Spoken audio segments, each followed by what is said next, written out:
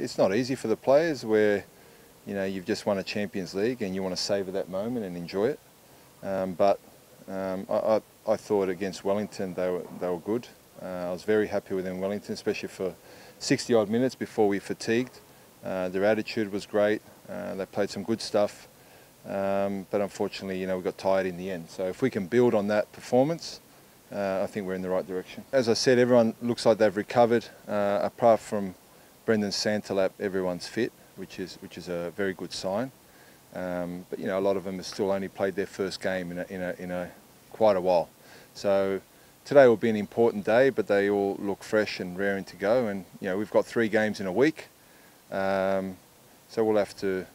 Uh, make sure we, we, we pick the right players for the right games.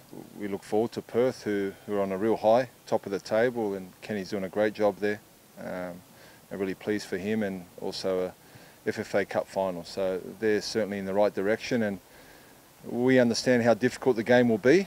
Um, but you know, also we've got a very good record in Perth. We've always done well there, and uh, you know we want to continue that on Saturday you know, just having a little bit of experience with grand finals and uh, the ACL. You know, when you know we lost the grand final, we had to quickly move on to uh, the Champions League, uh, the round of 16, and so as a coach, I've got a bit of experience on having to move forward quickly.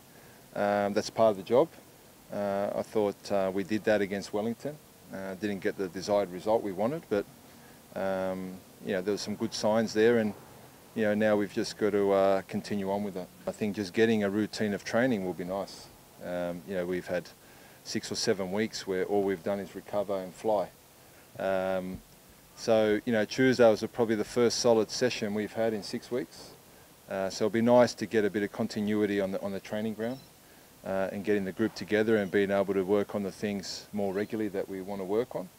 Um, so that's another thing we're looking forward to. And uh, I'm sure as the weeks go by, uh, you'll see a lot stronger Wanderers.